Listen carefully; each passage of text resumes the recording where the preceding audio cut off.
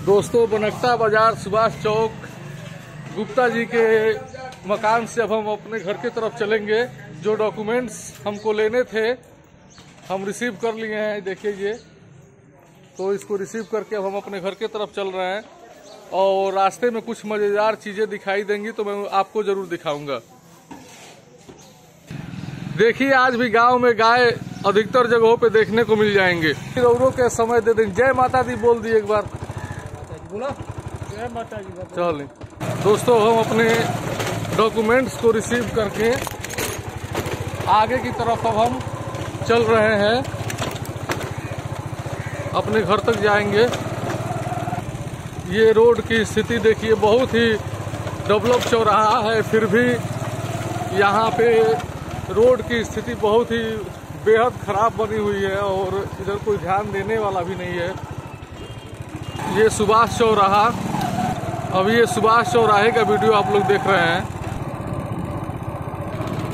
दोस्तों, बारिश होने के बाद बादल जब दिखाई देते हैं तो मौसम कैसा सुहाना सुहाना हो जाता है, आप लोग देख सकते हैं। चारों तरफ़ हरियाली, साथ ही साथ हल्के हल्के बादल और धूप के साथ। ऐसा दृश्य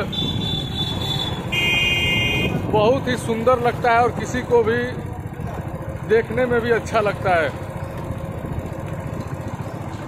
ये अब हम बिचला चौराहे पे पहुँचने वाले हैं, बनकटा बाज़ार के। राकेश स्वीट हाउस, बनकटा बाज़ार। बनकटा बाज़ार में अभी ये नई नई दुकानें खुली हैं और ये चौराहा भी लगातार प्रगति कर रहा है और नए रूप में आगे की तरफ़ बढ़ता चला जा रहा है।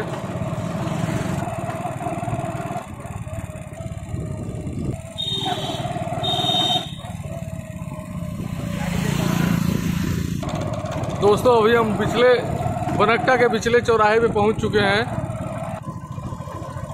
ये पिछला चौराहा बनकटा का। अभी बिल्कुल ही सुबह का समय है तो यहाँ पे चहल पहल कम है लेकिन शाम को चार से पाँच बहुत ही ज़्यादा भीड़ हो, हो जाती है यहाँ पे।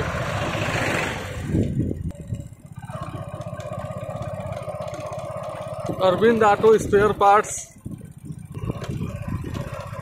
कसम से दोस्तों ये कार्य करने में बहुत ही मज़ा आ रहा है हमको और जितने भी महान लोग हैं सबके मुख से यही शब्द सुनने को मिला है मोटिवेशन के तौर पे, जिस कार्य को करते हुए थकान न हो, कार्य वही करना चाहिए और उसमें अपना सर्वस्व देने के लिए तैयार हो, रहना चाहिए।